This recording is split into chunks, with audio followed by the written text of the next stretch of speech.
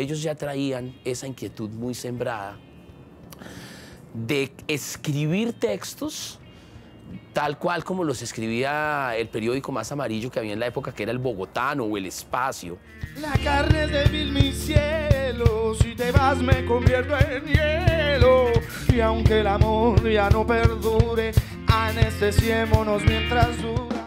Ellos de pronto lo que querían era un poquito de, de mejor interpretación en el instrumento y puede que una u otra idea de mi parte y ellos sabían que yo era armoniquista y me conocían de tocar en el escenario una guitarra precisa y, bien armada en su sonido, ¿no?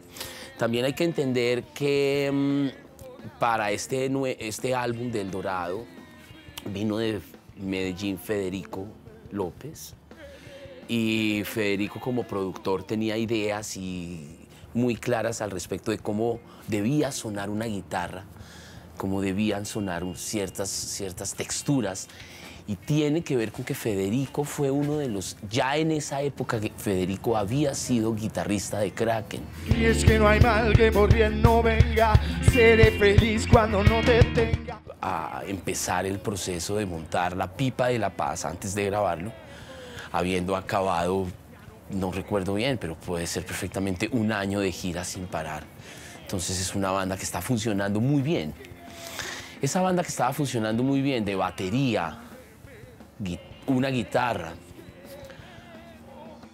bajo, un bajo y la voz de Andrea tocando Andrea guitarras adicionales, eh, pues era inteligentemente de parte de Andrea, pues era el mejor recurso para hacer un proceso creativo desde banda.